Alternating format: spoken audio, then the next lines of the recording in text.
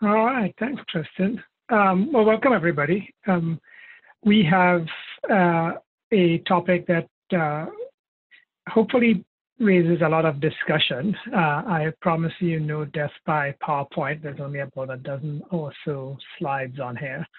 Um, and uh, I've left plenty of time in for Q&A, both at the end, but also feel free to interrupt uh, as I go.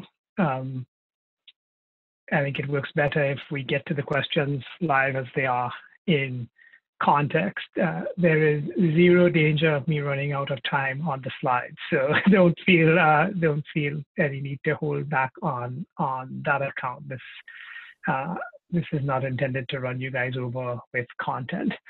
Um, so the the topic is how do I get started? And this is something that you know we obviously hear a lot at the Linux Foundation uh, I use the analogy to Rapunzel's tower. You can kind of see where you want to get, but it's not clear where the door is. Uh, and some of that has to do with uh, the nature of tech in general, the nature of software in general, and some uh, some of it with just the nature of open source. Um, so we talk about some of those things um, and what some of the strategies and tactics are to address them. Uh, all right, so let's jump in uh, just a little bit on the agenda. Um, a few topics I want to cover. Uh, my name is Clyde Seepersad. I'm the head of the training and certification group at the Linux Foundation. Uh, and our mission ties in very well to the topic today, which is providing training for folks coming into projects. So a lot of entry level skill building, awareness, you know, we do a ton of free courses, and just trying to ensure that uh, there are ample ways for people to um, discover the entryways into open source. I've been doing education of one sort or another for about a dozen years now. Uh, and open source has definitely been a uh, an interesting change as somebody who came into it from outside. So I uh, I had my newbie hat on when I joined LF little over six years ago. So I definitely, uh, there's a little bit of personal experience being brought to bear on, um, on uh, what it's like to onboard into, into an open source community. Um, so I will talk about some of the resources and the strategies and tactics, but I want to spend the next few minutes just on some context setting. So I think one of the things that you know is tricky about a session like this is you're, you're never going to be able to cover sort of every eventuality of uh, and every you know tool or tactic that somebody might might want to use. But it is helpful to kind of step back and think about the context of trying to enter a community uh, and so we'll spend some time on that and then we'll talk through you know what are the resources and some do's and don'ts and then hopefully leave plenty of time at the end for Q&A. So with that, let us jump in. Um, so there's a series here on thinking about kind of what's unique about. So when you're thinking about jumping into an open source project, uh, what is the context in which you're getting yourself, uh, uh, you, are trying to enter? I think that's really helpful as you think about um, and make sense of the experience that you have as you come in. And I want to do this in layers instead of uh, and try to create some structure to how to think about it. And so there's a couple of slides, this and the next couple, that kind of progressively drill down into more specifics. So this first one is about, you know, what's unique about the tech industry in general, and this, you know, obviously would you know be more relevant to those of you who maybe are coming at this session from outside of tech and uh, interested in getting more involved. Uh, and so a few points to highlight. This is not meant to be an exhaustive list, but as I was preparing for the session, I thought, okay, what are the most interesting components that might strike folks as different? And I'm going to remind folks to just hop on mute and, uh, and unless you're asking a question. Um, so first off, it's this idea that it's an orchestra, you're not a soloist. And of course, what I mean by that is uh, in tech in particular, uh, there's no such thing, and certainly no such thing anymore as kind of the lonely genius, right? Everything you do interacts with uh, people, systems, processes. And, uh, and so, you know, I, I tell people that, you know, when I came into LF, I still had this sort of mental image of, uh, you know, sort of the coder in her basement, kind of doing her thing, kind of oblivious to the world. And I realized that that might be true while you're writing code, but it's actually not true once you start to put that code out there into the world and, inter- and interact with um, all the other sort of systems and processes. And so uh, there's definitely a component of uh, of interconnectivity uh, in the on the people side, on the tech side, on the tooling side. Um, that uh, th- you know, I think when you're on the outside looking in, maybe isn't as clear.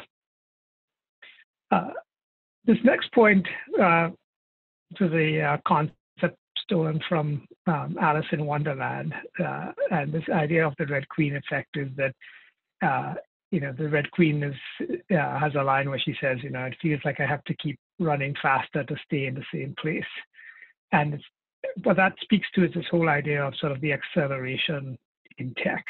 So you obviously don't even have to be in tech to realize that this is happening, right? Just think back to, you know, how recently some of the big tech companies I saw this morning, you know, Slack got sold for $27 billion. It didn't exist six years ago. Uh, things move fast, and uh, and this will be something that we come back to a few times in the course of this discussion. This idea of, of things move fast and accelerate, because it speaks to what's required of you in terms of mindset to be uh, thinking of, of yourself as on a lifelong journey of skill building. Um, and you know you, you will never get to a point where you where you can say okay i know everything i need to know now i just need to only focus on execution there's just always going to be more new technologies interesting concepts and it's important to recognize that um, as sort of an exist you know a pre-existing condition if you will uh, it's global in nature, right? And, uh, and, this is true for a lot of other sectors. It's not unique, and these aren't uh, uh, to, to tech, but uh, I can't think of a single project, uh, or for that matter, a single company that is exclusively operating in one jurisdiction. And so now you're talking about time zone differences, you know, native language differences, you know, cultural differences. Uh, and this is back to this idea of the interconnectivity, right? That, that, that you, you, you are entering a uh, an environment that is uh, complex and uh, fast moving and interactive and collaborative. Um, you know, even uh, when you're developing code on an open source project, it's a, it is a fundamentally collaborative exercise where you're submitting those requests, having people review them, putting them back in, where you're looking at other people's code, right, and trying to understand how different parts of software work. Uh, and then you're going to have questions. So it is a collaborative process.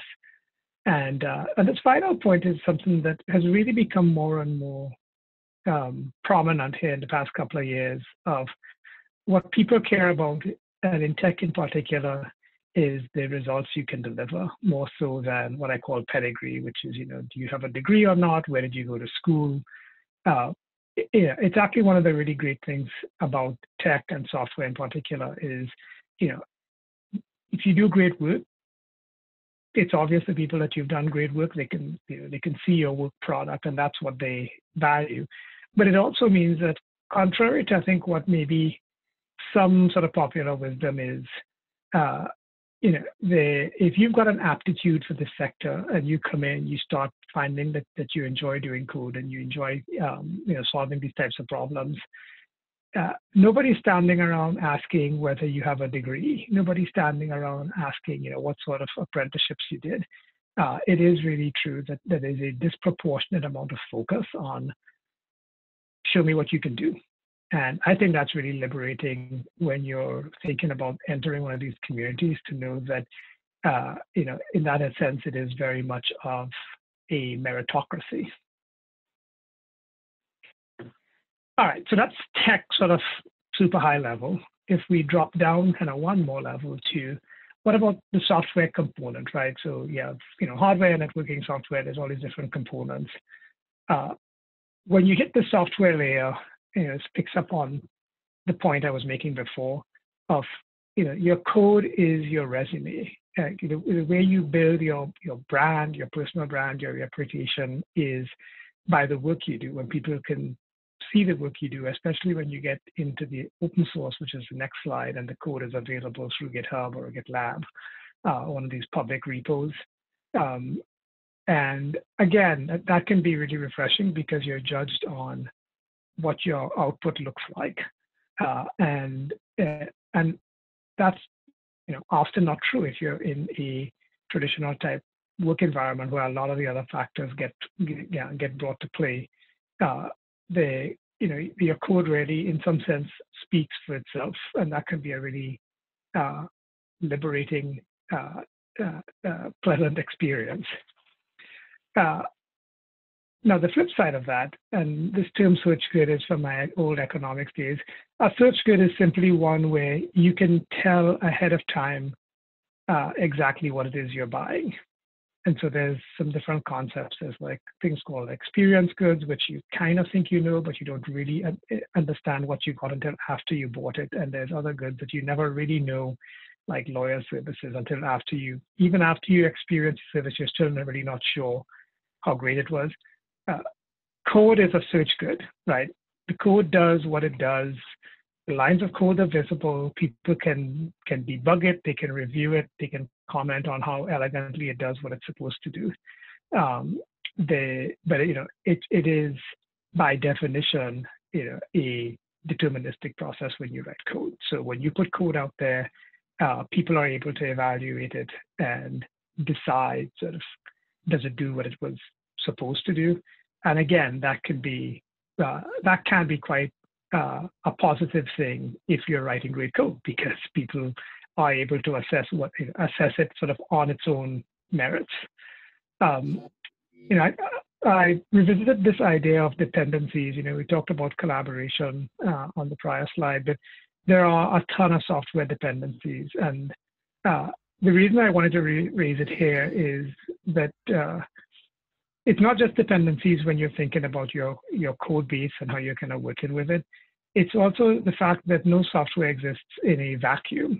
I know in our case, as in Linux Foundation training, we have periodically we have examples where something stops working and you sort of scratch your head and say, nothing's different than yesterday and it worked yesterday, so how could it have stopped? And more often than not, it's something like, you know, a, a package that got deprecated or removed, right? The reality of software today is it's all interconnected and it's built on top of multiple other packages. And, you know, it's interesting for us at the Linux Foundation just how true that is because Linux itself is now tied into and packaged into so many different uh, computing ecosystems.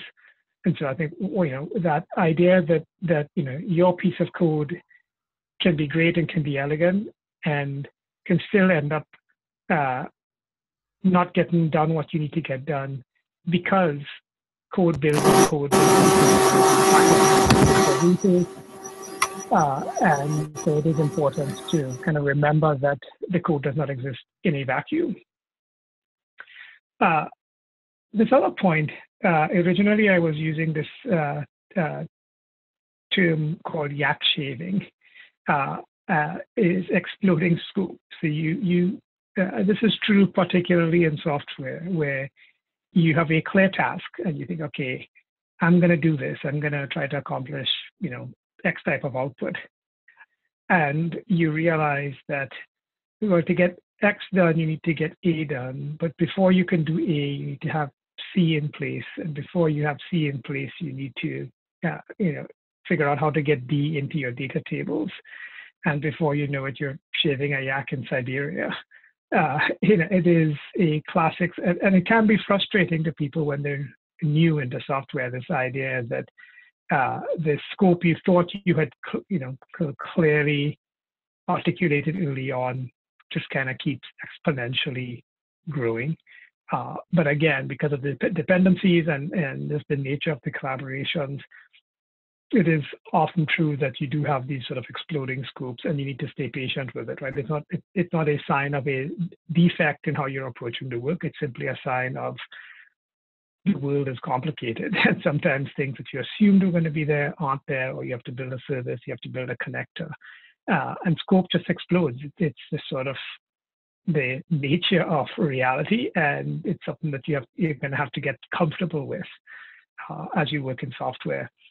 Uh, and then I do want to revisit this point about lifelong learners. Uh, it's really, um, I think this this true. This is probably true in a lot of other industries as well, but it's particularly true in tech, and, and within that, particularly true in software. That your skill set just has to keep evolving.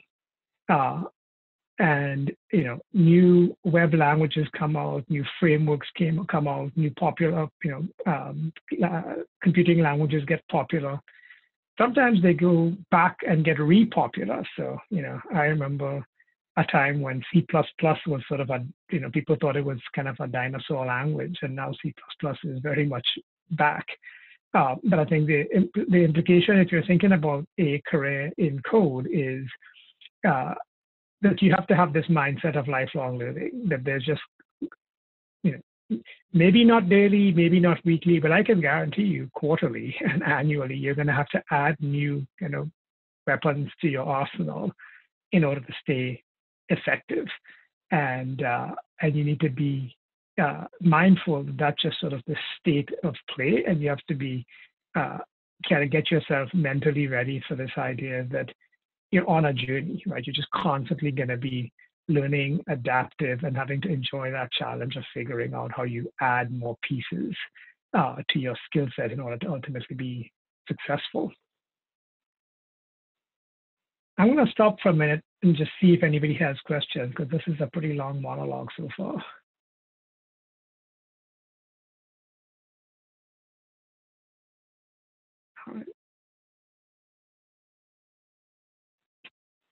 I'll just say again, don't be afraid to uh, interrupt. Feel free to jump in at, at any time. I'm going to move on and talk about. Um, so we talked about tech, we talked about software, and we're just going to come down the funnel uh, to our final destination. And in addition to, right, so uh, what's true of tech is also true of software. What's true of tech and software is also true of open source. But there are some unique components to open source uh, to be mindful of. Uh, the first is just the volunteer nature of it. All right. People get passionate about projects and start um, experimenting with them and eventually start issuing pull requests on them um, for as many reasons as you care to count. Uh, but what's fundamentally true in all of them is that they are doing it out of passion for the project. They're all volunteers uh, in that they could be doing other things. And uh, the whole structure, right, the whole review structure and maintainer structure that you see in open source projects, where code pull requests get pulled in at the bottom, and then you have these peer review processes, and you have these maintainers that look at what's coming up the chain. The maintainer will approve something to go in, and then it kind of folds its way up the chain. It you know it looks very hierarchical, and in that sense, it looks like a a what you would call think of in a traditional sort of organizational structure. But the key difference is that these people are being driven by passion. They are volunteers. It is a, a volunteerocracy. Uh, and so when you see a lot of passion, and sometimes that passion can come across as enthusiasm and energy. Sometimes that passion can come across as uh, people being brusque. Um, uh, just you know, I think it's useful to remember that uh, you know people are in this, they're bringing a lot of passion to the game.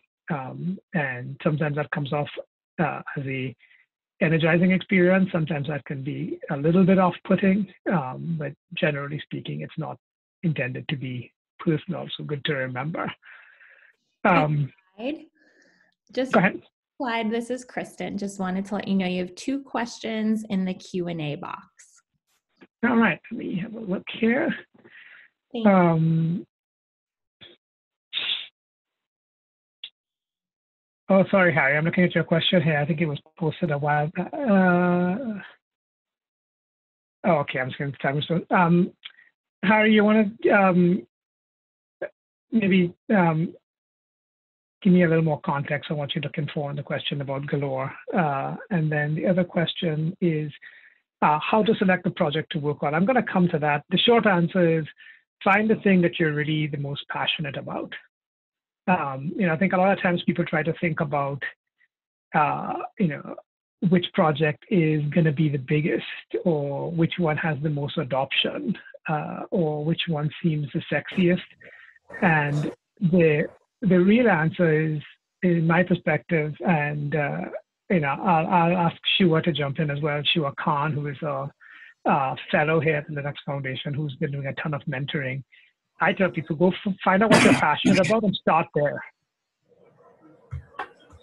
Absolutely, Clyde. That's the right answer because uh, sometimes, um, you know, you, you want to jump into a project where you feel um, like you can contribute or you learn as well. Uh, uh looping it back to what uh, uh, continuous learning and uh, lifelong learning, you want to pick a project that you're passionate about, want to contribute, and also want to learn about the project. Um, so I would I would say um, picking the project you're passionate about keeps you in the in the project longer as opposed to something that uh, you are not interested in. Yeah, thanks, Joe. Um, all right, I want to move on and, uh, and sorry, on the chat, Harry, if you could, uh, I'm not sure I fully understand your question about what you asking me to elaborate on. So I'll keep an eye on the chat here if you want to uh, clarify a little bit. Um, this next point is something that was interesting. It was something that I didn't know and appreciate when I came into open source is this idea that um, your Git handle, right? So uh, I'm I'm making the assumption here that everybody knows what a Git handle is. Maybe I should back up. So there's uh, most software, certainly most open source soft, open source software currently gets hosted on um, on public repositories, so GitHub, GitLab, there's a couple others. Uh, and the way that you contribute code is, is via a profile. So you have a profile, and you have a handle, which is basically your username. And you know, in most cases, you have an avatar. And that's what people know you as, right? So if you go in there with a handle of, you know, Clyde123, um, that's your Git handle. People are going to talk about Clyde123's requests. And uh, remember that this is happening mostly at a distance, right? And so people are collaborating in these repos. And you may eventually connect with these folks in real life or electronically or at a conference or a meetup. But there's going to be a period of time where uh, you mostly know each other and you yourself are mostly going to be known by that Git handle. Um, and I, I find that is, you know, for folks who are coming in especially if they're coming into tech from um, maybe a background where it's not sort of what you would old school think of as traditional with a comp sci degree. Uh, it can be quite liberating because you know they have, you know they're seeing a Git handle with no context around where you're from, what your gender is, what your age is, uh, and all they see is your code and what you're pulling in. Um, and uh, that is, uh, you know, a really powerful way to get introduced into the into a new community. And the analogy I give folks is, you know, a lot of orchestras um, in the U.S. and globally had issues with diversity, and many of them have switched to what's called blind auditions. And the only difference from the old auditions is they put a screen up. So the musician walks on stage and plays, but the panel evaluating them doesn't actually see them. Uh, so the only experience they have uh, of you is your output. In that case, in the orchestra's case, it's it's it's the music that you play. And what they found was that when they started doing those blind auditions, they started getting a more interesting, diverse mix of people accepted in to the seats because a lot of biases that, that get applied when you're you know when you're seeing the person don't get that don't get applied when all you see of them is their work.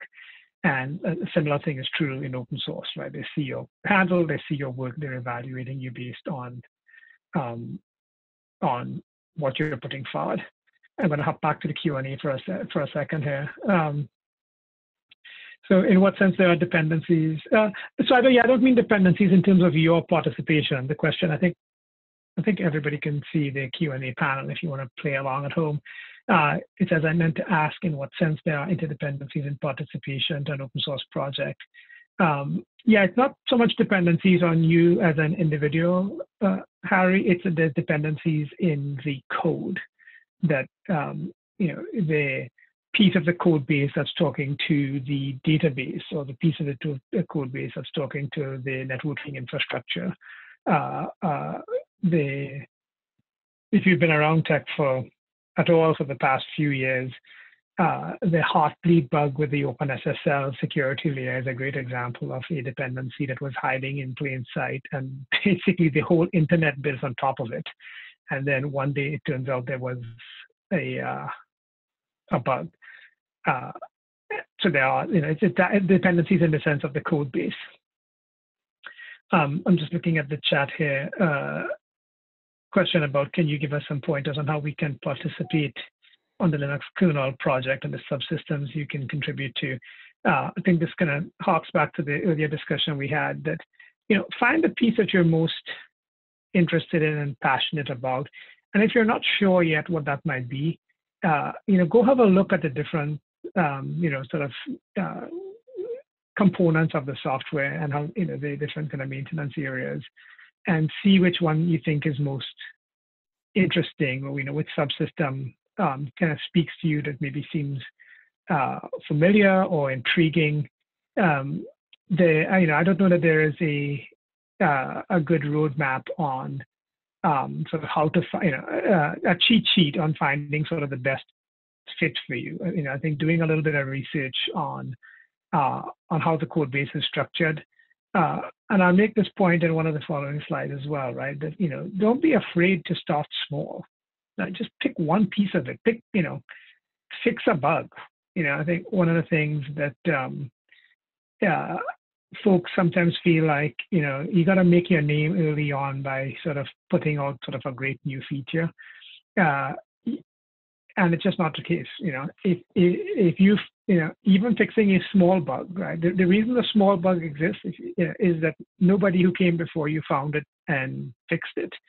Uh, and so every contribution you make is a unique and valuable um, contribution. Um, so I talked about the Git handle. I talked about this next point uh, is uh, a phrase I've seen around in some of the literature, and I, it's actually the literature on uh, how it, basically answering the question, why are people mean on the internet? And uh, in the case of open source, some of those same lessons are true because most of your interaction is happening through a GitHub, through a GitLab, at least early on. Hopefully you start to get as you get more embedded and you take advantage of some of the opportunities to get to know people, that starts being less and less true. But what disassoci- dissociative anonymity just simply means that people are tend to be meaner to people when they have not met them, and especially if they have no prospect of meeting them. And so it's just yeah, this idea that uh, uh, uh, yeah, it's not universally true, but there are there are going to be times if you're in open source long enough uh, where this tendency of people to react much more strongly, um, and sometimes it can be react strongly positively, sometimes it can be react strongly negatively. Um, but all of you, I'm sure, have been on the internet, right? So this is not a unique phenomenon to open source, uh, but it is true of the broader sense of human dynamics in systems where you don't necessarily have personal relationships or even awareness, right, of the people that you're um, that you're working alongside. So just be mindful of that. Uh, that's you know that's more of a comment on sort of human nature.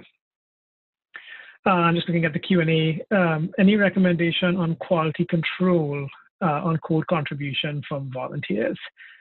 Um, all open source projects have inbuilt quality control in that they have um, review hierarchies. So patch requests get reviewed, they get accepted, they get sent up the chain to a maintainer. Um, and so, you know, the, there's a built-in meritocracy of review. Uh, uh, I might pull Shuah in again. Sorry, Shuah, but I know you're on uh, to speak to sort of the Linux piece of this. Um, but you know, code gets submitted as you know. I think think of it almost like a submission to a publishing house, right? You're you're proposing a piece of code, and then that gets reviewed. Um, and uh, maybe sure if I ask you to talk about that a little bit and talk about how you can check your own code before you put it in uh, as a pull request. Absolutely. Um, the, the Linux kernel development happens on mailing lists. And made, uh, we have uh, several mailing lists for each one of the subsystems. So the uh, so general advice uh, I give people is that if you are uh, new and you want to get started, um, pick a subsystem that you're interested in and then watch those mailing lists and see how the dynamics between people, maintainers and um, developers, contributors and everything. And if you do have a patch, you send a patch. Each change is a small change. So you will send up a patch, send to these mailing lists. And we also have a maintainers um, page that lists all of the maintainers. Who do you send the patch to, right? That's the question. Once you have the patch ready, you test it, and who do you send it? So we, the kernel repository has get maintainers uh, script that will tell you exactly who the patch should be sent to and you send the patch and you address any reviews that come up. Is that kind of answer you're looking for, Clyde, Clyde for this particular? Well, I think the question really is about quality control, right? And so there's a quality control, you know, built into that patch review process. But right. any any tips for individuals as they before they submit their patch to, to, to sort of um, you know their their own personal quality control maybe before, before they submit.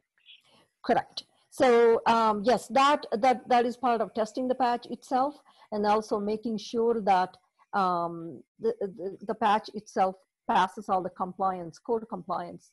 And there is another script, there are several scripts in the kernel that will, uh, can do that for you. In addition to the testing you're doing, obviously, because if you are fixing a bug, you're making sure the bug um, is actually fixed and that you're not introducing any problems. Cool. Uh, interesting question, just uh, in the Q&A box um, from Pascal. And it is, I have done some contributions on some open source projects and I would like to continue, but I sometimes hesitate to work on an issue because I'm afraid I won't find time to complete it. Any piece of advice on how to tackle the situation?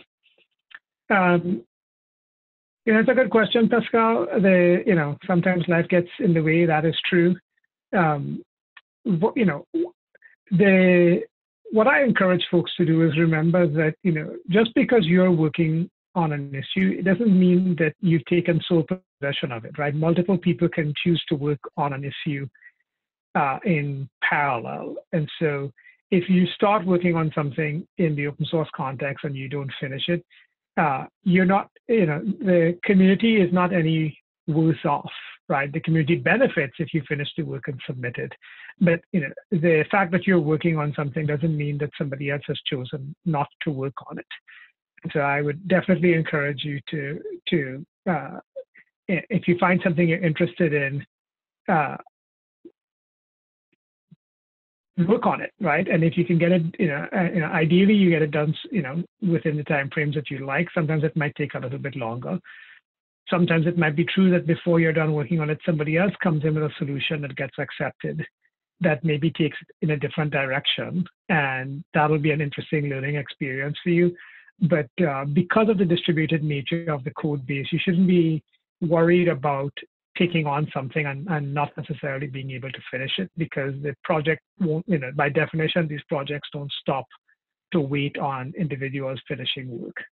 Um, so the you know the the the the distributed nature of open source in that sense does make it a lot more uh, creates a lot more windows of opportunity than it would be in a traditional sort of proprietary software mode where that's your module and you really are being expected counted on to get it uh, to get it fully developed.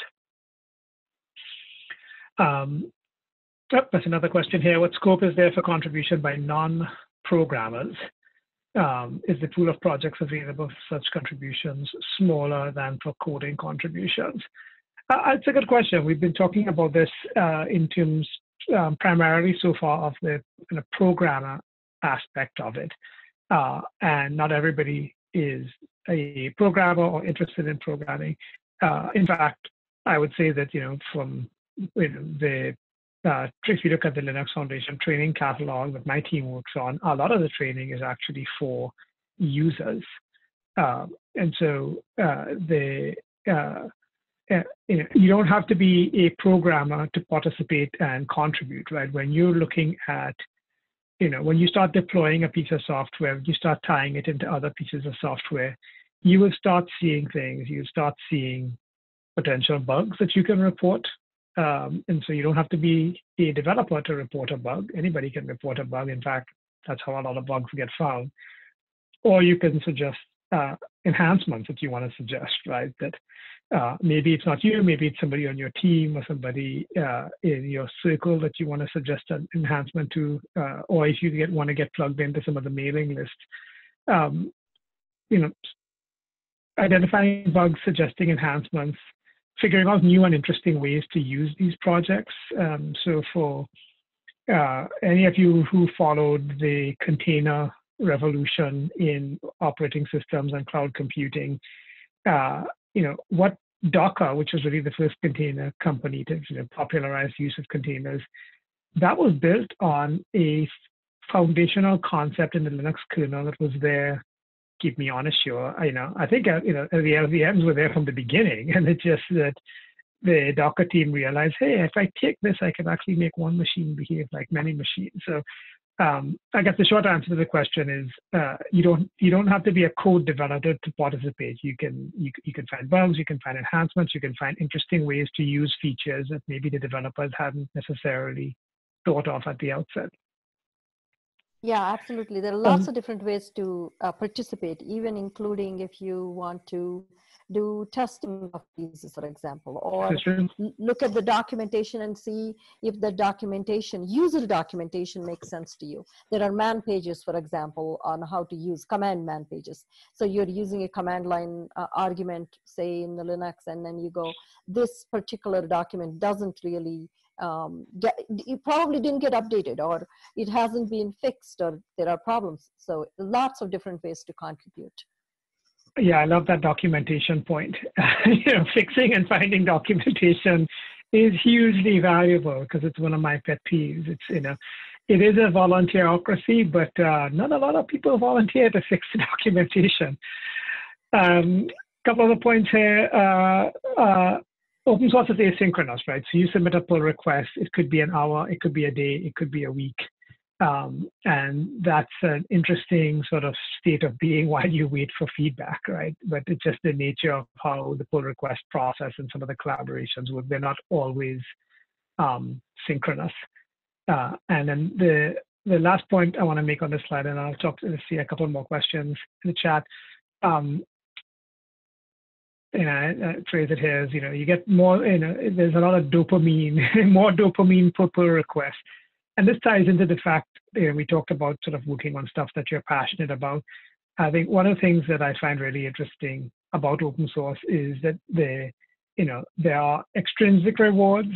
Uh, you know, people get you know hired and promoted, and uh, you know the, the career side, formal career side of your um, uh, you know of your brain, if you will.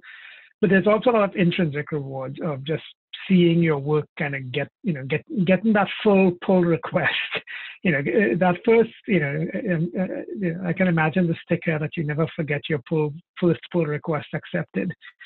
Uh, there's a lot of intrinsic um, uh, reward that comes from contributing to an open source project. Um, whether it's a pull request whether it's fixing the documentation whether it's finding an interesting way to, um, to use the project um, because you know that you're contributing to a community of folks who are doing this um, coming from a place of um, passion. Uh, I'm going to click to the next slide. I'm going to toggle to the chat here. Um, so Tierman asked, can I use open source projects to learn Java or any other new languages? Should I contribute projects written in software languages where I'm experienced? Um, so definitely number the second one's true like if you know the language so I'll pick an example. You know, uh, Linux is written in C, uh, Kubernetes is written in Go. Um, you know, I think to the earlier questions about figuring out which ones, you know, which projects you want to con- contribute in. Obviously, if you have pre-existing language um, skills, then that's helpful.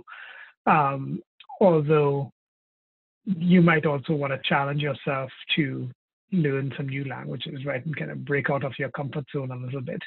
Um, so it, it, it, might be an easier spot to start off is to look for a project that, that is based on um, a language that you're familiar with. Um, and it's a great way, you know, and we certainly say this, you know, at Linux Foundation training, that the best way to learn is by doing. Uh, and so if you want to learn, if, you know, if you want to learn uh, a language, whether it's Java, Go, C, whatever, uh, the best way to do that is to give yourself a little project. And a great way to get a little project is to take on something like a feature enhancement or a bug patch and just kind of work your way through kind of a small piece of it. I mean, that's part of the beauty of how open source code gets compiled, right? Is you can grab like a fairly, you know, easily manageable piece and just work on that and then test it, make sure it works with everything else and sort of push it upstream. Uh, so you, you can pick small pieces. It's not like, you know, you've been assigned a whole module of software that you then have to go independently work on. Uh, there's another question in here. Uh, my team at CERN is developing a few projects, very few of which are open source. There's no good reason to not open source these projects. The mildly legit one I've heard so far is that open sourcing projects require more effort because you have to make the project very generic any tips on how to encourage open source culture in teams? That's a great question. Um, and it's one that comes up, as you might imagine, very, very often. Um, I think part of it is a little bit about demystifying for folks what it means to open source a project. Um, you do not have to make a project very generic to open source it. In fact, usually what would happen is you can if, if you've got an interesting project and it may be it's specific initially, but if it's interesting to people because they can see the potential, that's exactly what you get by open sourcing the project because people take that code base and they start contributing to it and saying, hey, you can use this to accomplish X, you can do, you can go in direction Y, you can take this and sort of repurpose it to a whole new sector. Uh, open sourcing it actually opens the the floodgates to getting other people to take that code base and build it out in new and interesting areas versus you have to take it and build it out. Uh, now, there are some things that you have to be mindful of um, in terms of the code base, in terms of the license that you're going to pick, and there's some, you know, some education that you might have to do for your team around, uh, you know, the different types of, of open source licenses are available that are, that are available and how you go about using them how do you pick the right one auditing the ones that you have? So uh, there's definitely some of that there's a fair amount of material uh, that the linux foundation uh, provides uh, i think there's a slide at the end we can look at where that can help you think through that help you identify what some of the issues might be and uh, think your way through how you um, position that discussion for taking a project and sort of adding it into the open, you know, open sourcing it um, and dispelling some of the myths that are out there. Um, so scroll down here. Uh, will the presentation and slides be available? Oh, that is a good question. I'm going to ask Kristen what. Uh, well, I know the presentation will be available because we're recording it. Um, yeah. Kristen, do you make the slide packs available as well? I guess people can just grab the slide view. You know, these are not wood heavy slides. So. Yeah. No, thanks. So, yep. So, as Clyde said, it's going to be recorded and posted on YouTube, and we'll and we'll also distribute the slides separately. So you'll you'll have a copy of those as well. So you'll get a thank you note um, in the next day or so with all of the information. Very good. All right. Um, so we talked about context, right, of, of uh, you know, how these, you know, at the tech sector level, software sector level, the open source sector level. Uh, I want to toggle now to um, what are some of the resources that you can use? And I have this in sort of two different buckets. The first one is about people-based resources, and the next one is about documentation-based resources. Um, local meetup groups. Uh, I have been stunned and pleasantly so uh, at the extent to which local meetup groups exist for just so many projects. And I, I think it comes back to this idea of the passion that people feel. Uh, there's a pretty good chance that uh, that there's a meetup group within sort of reasonable commuting distance from where you are on just about any of the certainly any of the larger open source projects. And it's just a great way to start to establish community and connectedness to others in the sphere, especially if you're getting in as somebody newer. Um, and you know they're not super formal for the most part. You know they know, they often happen at uh, at uh, you know community centers or you know people get together in a bar. Um, now probably a little bit less meeting up with the pandemic going on right now, but uh, as that fades, uh, definitely a great resource is uh, to get involved in those meetup groups to um, just be able to connect with others that are that are in the space and uh, get to know them, get you know suggestions like you know which subsystems you know if you're not already familiar. But it's a great resource. I think it's one that um, people maybe aren't as aware of because there's no uh, they aren't you know they aren't analogous um, concepts in a lot of other places or industries, right? The sort of meetup group culture really does appear to be most heavily um, active in open source. So that's at the organic sort of local level. Um, but of course, there are just conferences, right? So certainly for all the Linux Foundation projects, we have conferences, um, usually multiple times a year, different locations. Uh, and those are a great way to kind of take it up one level, right? Get a lot of broad perspective with, you know, dozens of different speakers talking about their, uh, you know, specific topics ton of networking opportunities, what they call the, the hallway track, where you can just meet people informally over coffee breaks, over lunch. Uh, just a great place to, you know, it's great learning at the sessions. It's also fantastic networking um, opportunities, especially because of the nature of open source, where a lot of your work is happening at your computer, submitting requests, updating documentation, you know, reviewing things uh, it's a great way to complement that, um, you know, sort of scratch your social social itch, you know, learn about things, um, but also meet people, uh, and uh, and then I would also just encourage folks to find mentors, right? You know, whether it's through one of the venues we talked about above, or just somebody that you know you you, you know or you went to school with, or uh, that you see in the community. Open source folks in general are just super helpful. And you know, if you can establish a good relationship with with someone who can be a mentor and somebody that you can turn to for advice and guidance, that is super useful. Um, we have a whole mentorship pro- program at LF, which is one of the things that Shuah works on.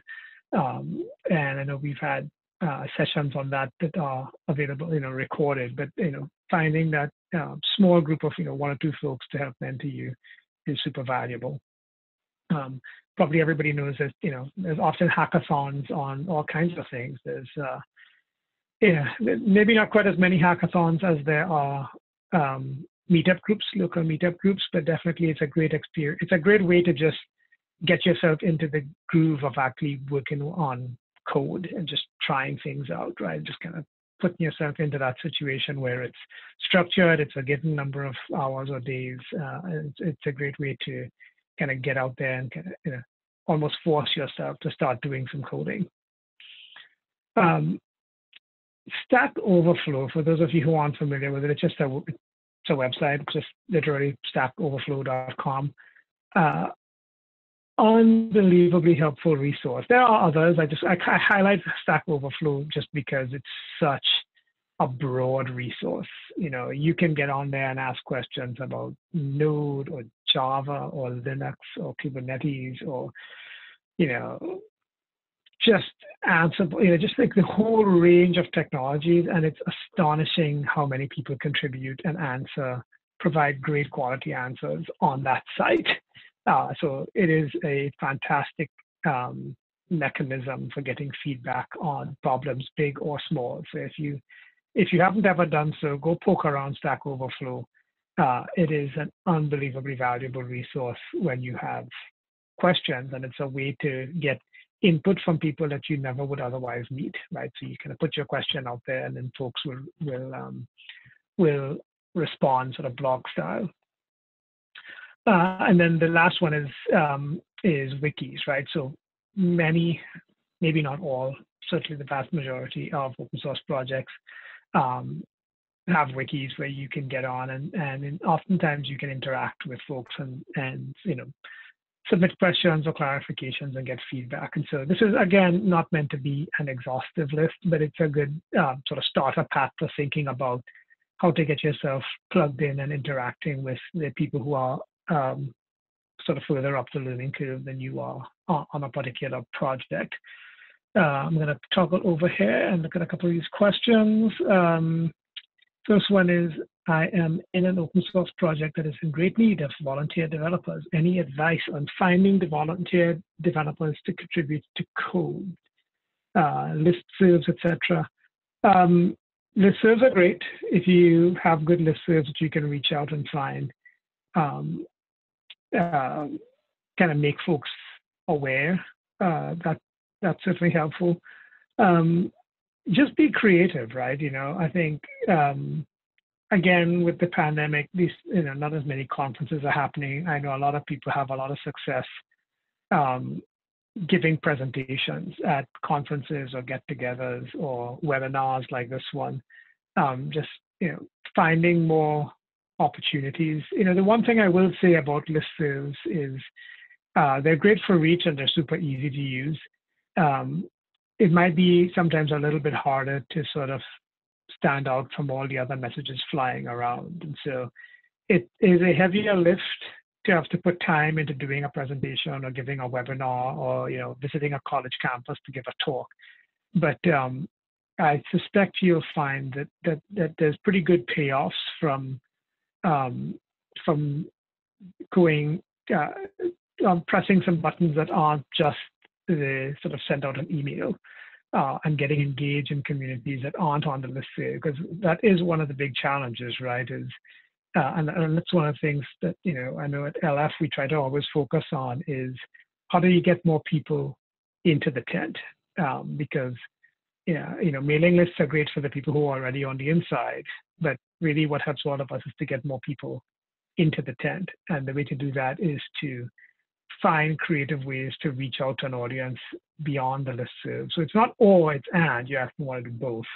Um, but you know, giving talks, giving interviews, um, uh, you know, uh, thinking about what, where are the pools of people that you would like to volunteer? Where are you most likely to find them, right? Are they at conferences in an adjacent space? Are they on college campuses? Are they, you know, just uh, really challenge yourself to think about the people who aren't yet involved in your project. What's the profile? Where are they most likely to be found? Uh, and then and then trying to find ways to kind of get in front of that audience. Um, there's another question here on how to find a tech mentor. Is it okay to, to ask someone randomly to be a mentor advisor?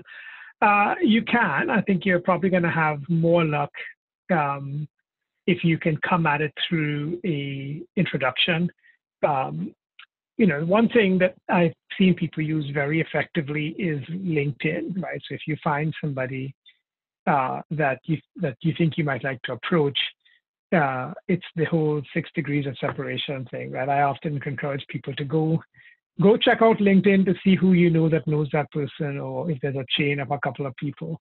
Um, you know, folks are much more receptive um, if they get a if it's a bit of a warm introduction. So I would definitely encourage you to leverage your network. You know, it doesn't have to be somebody you know personally, but if you think of the sort of power of the network effect, the list of people that are one one connection removed from you, so friends of friends, is generally very large, and that and that'll often be a good way to sort of break the ice, um, and maybe even get some advice from whoever the person that you know in common about who this person is, uh, you know, time availability, interest, etc., so that you're not going in cold.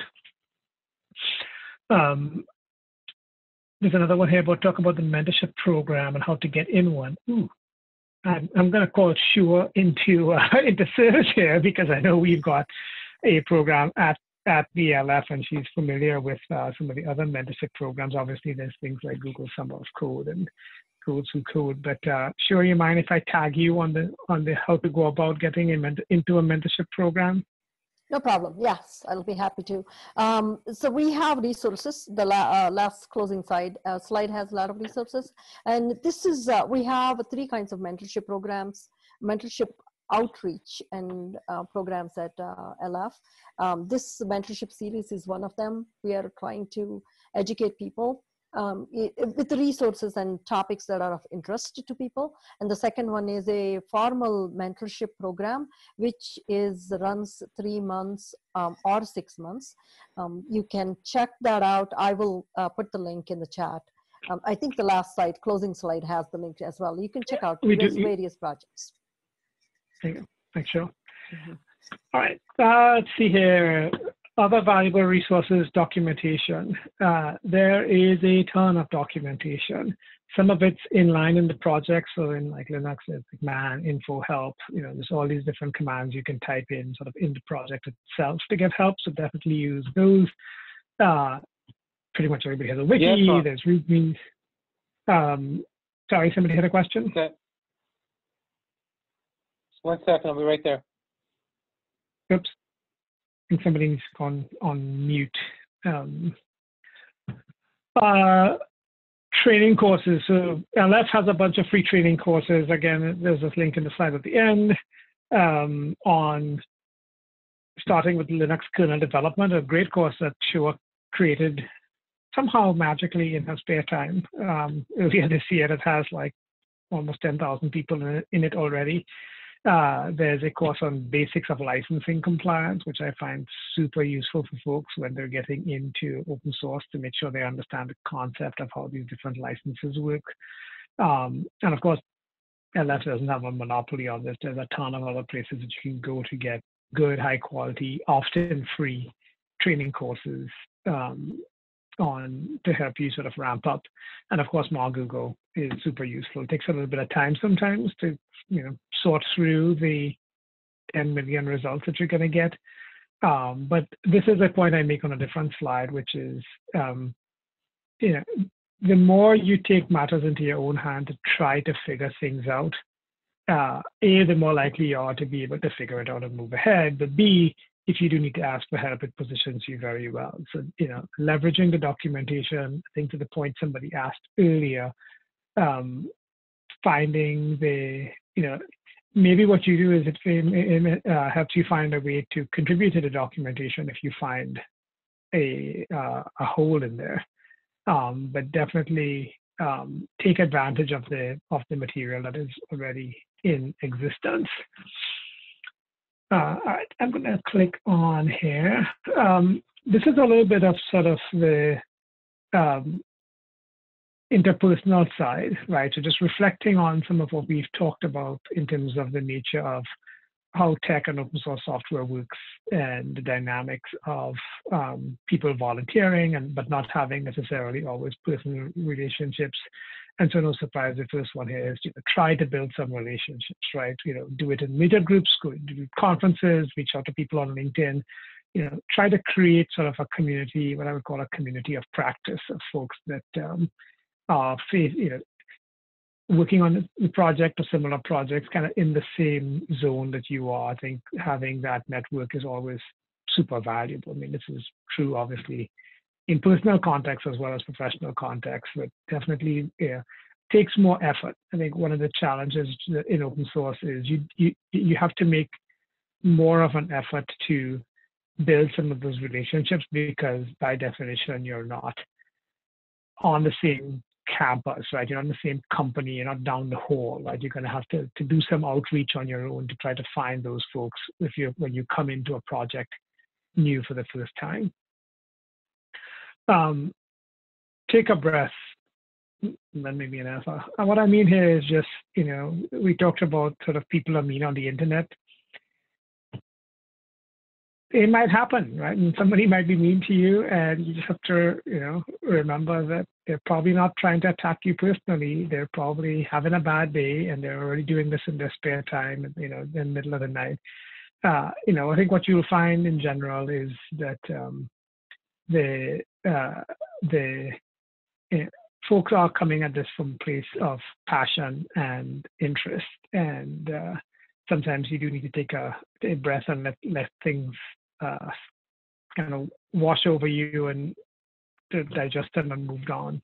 Uh, the, the distance um, of doing stuff on the internet does make it harder, right? You don't you don't see the expression on the person's um, uh, face when they're giving you the comment, right? You don't hear the tone of their voice, uh, and uh, it does make it difficult sometimes to uh, to get all the context and maybe jump to the wrong place. So just I think being um, being forgiving of of of digital communication um, is a useful place to be. Um, I think this is the point we were making earlier. All roads lead to Rome. Find a place to start, right? Just find a place that's interesting to you. Um, you know, there is no magic sort of single highway that takes you to where you want to be uh, you, you, know, they all lead to the same place. They all lead back into the code base. So just, you know, find a place to start, kind of work at it. Um, you know, I, I, tell folks all the time to look for patterns, um, you know, because what I will tell you is, you know, which areas of the code are most dynamic. Uh, it might, you know, if you look at patterns in terms of how code gets used, if you look at patterns in terms of error rates, uh, you know, trying to sort of um, find signal in the noise is a great way to help you focus on areas that that, uh, that might be most impactful. And then finally, uh, you know, my old mentor used to always say, you should ask yourself, is the climb worth the view? Uh, and you know, how hard do you want to battle for uh, your particular perspective? How hard do you want to try to, you know, from, you know, how much effort do you want to try to spend sort of cracking a puzzle? Um, you know, sometimes you can get into these loops where uh, there's a little bit of sort of head banging against the rock. And so I think keeping that in mind of sort of what's the payoff going to be um, to help guide your level of uh, interest and attention. I'm just looking at the questions. I'm sorry, that's bad uh, idioms on my part. More Google is just using Google as a search engine. Um, somebody said, uh, what is more Google? Getting Google Maps. Just I just meant using Google as a resource to find helpful documentation you can sometimes formulate very specific questions and find interesting uh, you know, blogs, wikis, articles on things that you might have thought were, was a very sort of esoteric type question. All right. Um, I just have two more slides here. The first one is top five don'ts. I have some do's and some don'ts. Uh, and these are just my personal, you know, there's others. I'm sure there's a long list of on both uh, of things on both um, lists that you could put on. Uh, this first one is something we and we've talked touched on this a little bit in the you know there are kind of stupid questions, and what I mean by that is uh, the more you invest in figuring, trying to figure out what the issue is that you're dealing with, the challenge is, you know, doing your research, reaching out to, to your network, uh, the better, if you end up needing to ask for help and ask a question, the more effort you've put into um, defining that well, the more, the higher the likelihood that somebody is going to respond and be helpful. You know, I, I give the analogy all the time that, you know, I've always found that uh, whenever I'm in France, for instance, my French is atrocious. But if I start with my atrocious French, people are super helpful and actually toggle to English. And uh, and just the fact that I that that I was making the effort, uh, I get a I get a much better response. I think the same thing's true, particularly in open source. I think open source has, and again, as somebody who kind of came into it new, uh, there's definitely a premium on on sort of respecting and valuing when people try to be self-sufficient, right? And so if you say, if you can come to something and say, look, I, I, I you know, I, I've hit an issue. I've tried this. The documentation says that, you know, I went here for help, but I just can't figure it out. You're going to find people very much more receptive um, because uh, you've demonstrated that that you have tried to find the answer to the question. Um, this next point is, yeah, don't reinvent the wheel. Um, there are a ton of packages out there if you're on the web development type side, uh, or modules out there in the regular code side. But you know, uh, I, I, would encourage you that yeah, when you're if you're if you're doing development work, to spend some time looking for code that might already exist to solve some part, maybe even all of the uh, issue that you're facing. Uh, there's just so much great code out there now, and there's no shame in reusing code, right? It's everybody does it.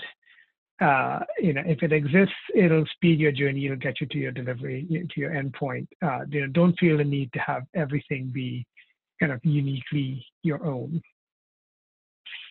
Uh, don't assume the worst. Uh, we talked about this a little bit. Uh, just you know, sometimes people might be, uh, yeah, you might feel uh, rubbed the wrong way. Uh, doesn't necessarily mean somebody was was trying to attack you personally. It could be true, but don't assume the worst at the outset. Right? Try to try to um, kind of push past and uh, understand the context. And you know, if you get to that place where something bad's happening, then you know that's uh, trying to make sure that's really what the what the case is because it is just communication on the internet really can be difficult.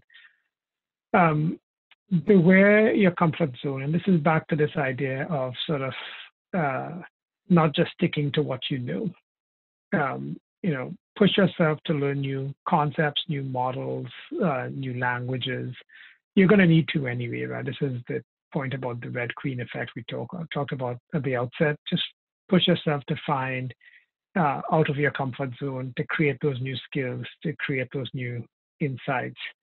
Uh, and then my final plug here, just because it can be a um, challenge, is uh, spend some time understanding open source licenses and uh, which ones you know, which you know are used in which purpose. There's a great free course that we have on this uh, from the foundation. Um, make sure you understand that context um, of the of the different licensing regimens. What is a permissive license and what is a restrictive license and what does that all mean? It is super useful to have. You don't need to be a lawyer. I think you just need to understand those concepts. Uh, I have a question from Kevin. He says, can we do a demo of how to go about finding a new project? Where on GitHub do you look?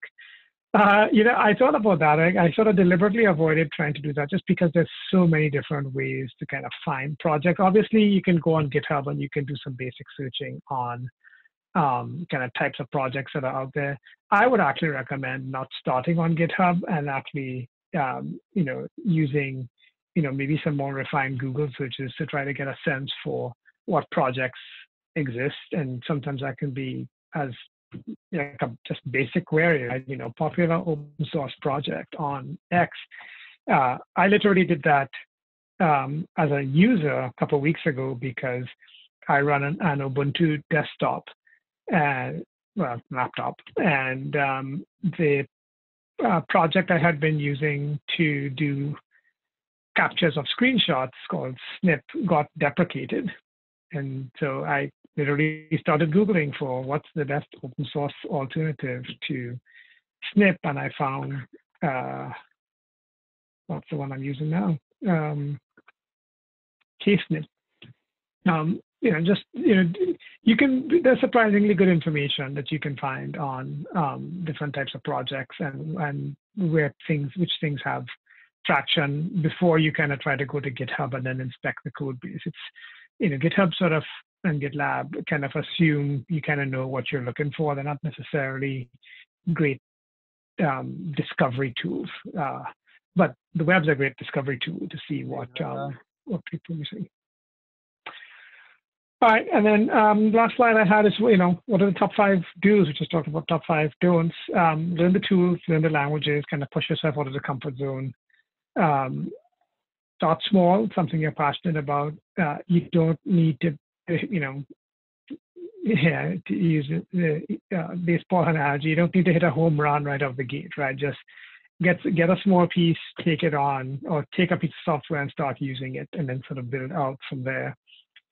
Um, I tell people all the time, bug fixes are a great way to start. Small patches, you know, you don't have to go, you know, sort of invent this like whiz bang new feature right out the gate. Um, and I will say, you know, this is this point about sort of, you know, behind your GitHub handle, nobody knows who you are. For all they know, you're an accomplished coder on some other project, right? And so I think if you, you know, uh, having the self-confidence, you know, tell, put your code together, use it, test it, but be confident in what you put out, right? Then people aren't able to sort of see past the handle to, to make any assumptions about the quality of your work. They just see the quality of your work. Use that to your advantage, especially early on. Um, and then the final point is just it is a team sport, right? Be prepared to collaborate, be prepared to have dialogue, debate, robust debate, disagreement, even. Um, you know, these are uh, these are just as much human systems as they are code systems, right? And so you, you know, just uh, engage in it and and uh, uh, interact with folks and be be part of that human side of of the um, of the dynamics. All right, uh, that's my last slide. My next slide is just kind of teeing up Q&A. Um, I do see another question in the chat here, and it says, resources provided are helpful and I will use them. I'm looking for an open source real estate project platform, mainly related to, mainly related to multifamily acquisitions. If you have any additional guidance or knowledge about an effort like this, uh, appreciated. Uh, I don't, but again, I would I would encourage you to do a series of just kind of targeted web searches. Um, that I have found, you know, the two great ways to find this type of project is either, uh, you know, kind of try to narrow the search down on the web, kind of progressively tighter criterion, uh, or tap your network, right, and just kind of go out there and kind of poll your friends on text or WhatsApp or whatever and see who's come across something. You know, once you're in a specialized space like real estate, that's typically going to be the fastest path to um, to discovery.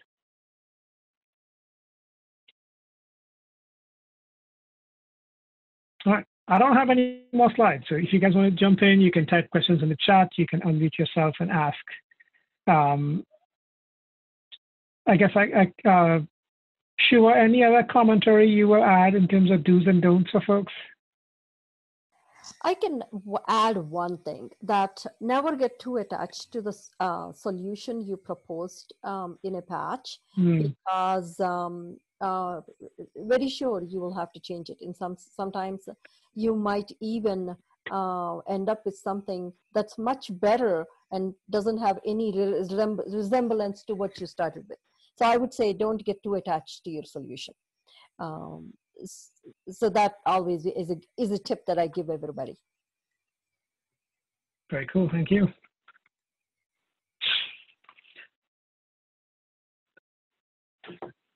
All right. Um,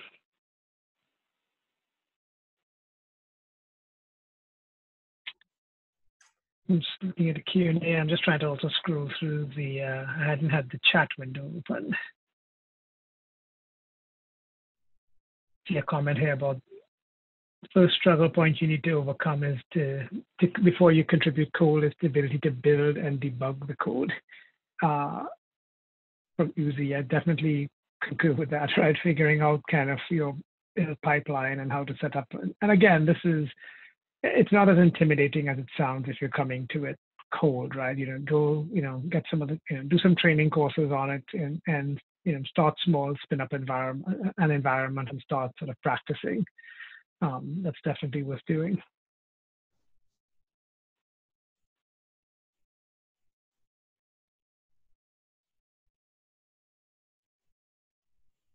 Just just letting you know, Clyde, we have about 10 minutes left, just to let you know.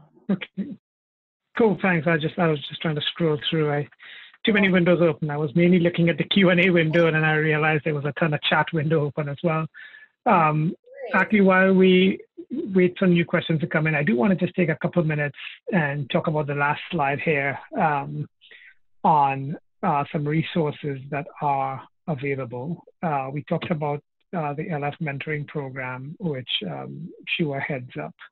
Uh, and I believe these are linked in the document, so you can, uh, when the um, when the deck comes out, um, you can kind of click through. This one goes to Community Bridge, which is our platform for, for mentoring. So definitely um, encourage folks who are interested in that sort of program to check out the LF mentoring um, program. Uh, Outreachy, if you haven't heard of Outreachy, um, they've done a really good job with their remote internships, right? So this year, again, um, you know, the pandemic made it really rough on some other types. You know, uh, Google Summer of Code had always been super popular, but was more oriented towards in-person.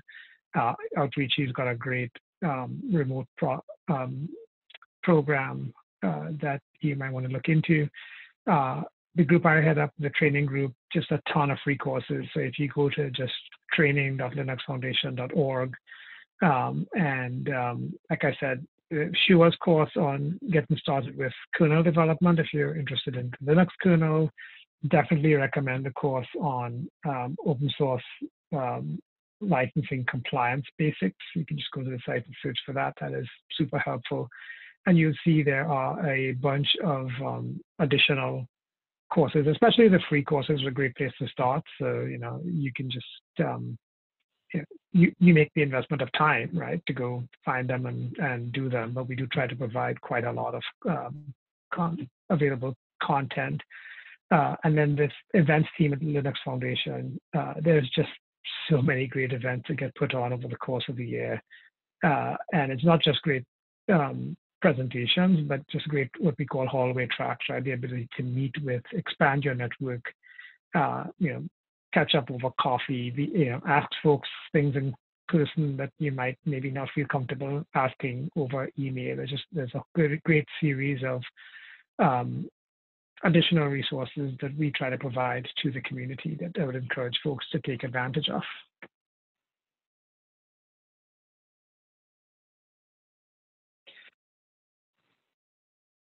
All right. Um, I know we're getting close to the end here. Um, I want to leave it open for any other questions. I see one in here about especially good free online courses. Definitely the ones I, um, I was discussing on, on um, kernel development, getting started with open source. Um, if you go to training.linuxfoundation.org, I guess I can pull it up. Um, and and just look through the free course section. That's certainly useful.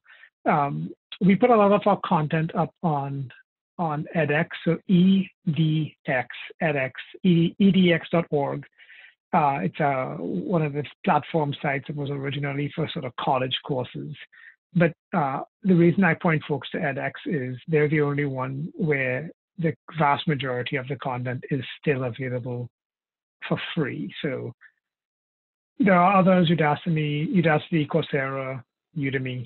Uh, most of their courses have become paid because they're all sort of venture capital backed companies. edX is a nonprofit. And I think because of that, they still do provide truly free access. And uh, we as LF has, have had like over one and a half million, closing in on two million people take our free courses through edX, but uh, edX is also a great place for free content across a whole range of different technologies, not just LF stuff. I definitely would encourage folks to go check that out.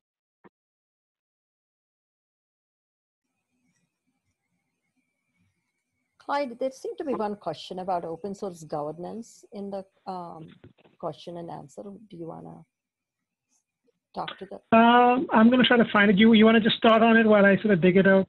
Sure. Um, yes, uh, the question is, can you expand on the governance of open source projects? Ah, right. Um, so I can definitely talk about how governance works within the Linux Foundation for open source projects. Uh, I think it's probably largely similar for projects hosted at places like Eclipse or Apache.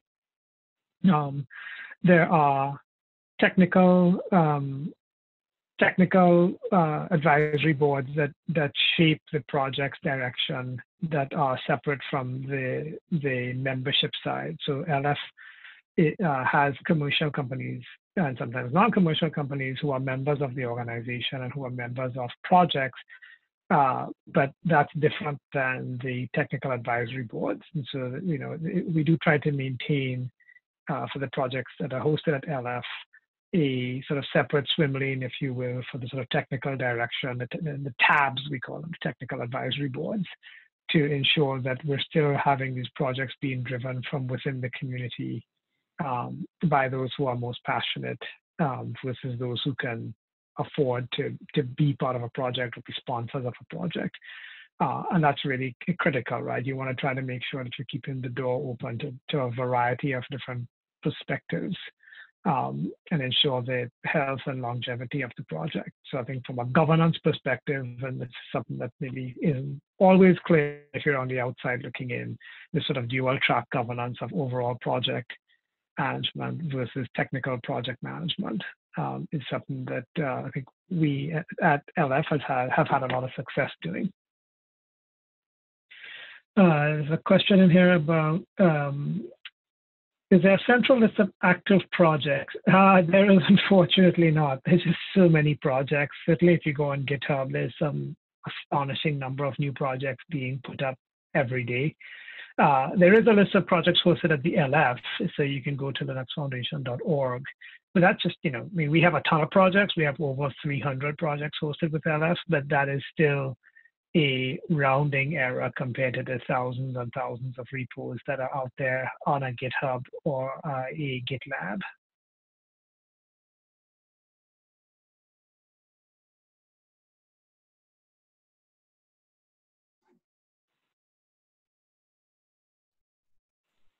Okay. Any any closing remarks, Clyde or Shuah? You know, I would just say that uh, I, I just reinforce the point I made that on that one slide about all roads lead to Rome. Just pick a place to start. you know, right? Find a place that's comfortable. Find a place you're, you're you're passionate about, and you know, it doesn't have to be on you know the world's sexiest topic or the world's sexiest open source project get your feet wet. That's the important thing. Get your feet wet, start working on it. Um, you know, don't wait for the perfect project opportunity to come along. Yep. Good advice. Okay, well, there are no more questions. I'd say we can wrap it up. What do you think, Clyde? All right. Sure thing. Thank you all for attending. Thanks, everyone, and hope you have a great day. Bye-bye. Bye all.